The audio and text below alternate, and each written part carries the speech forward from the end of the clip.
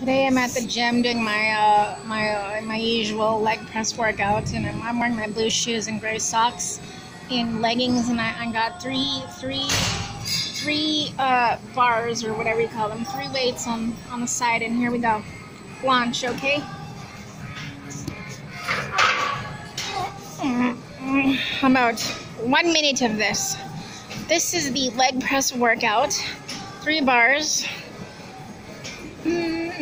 We're at Crunch here in the Marina District, and uh, that's me in the mirror.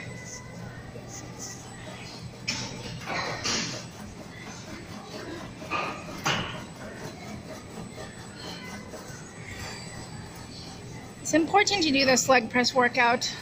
That's what so much of going to the gym is doing a leg press workout. It's the only way to get your legs toned. That has worked for me over the years. And this video is out in three seconds. Bye bye.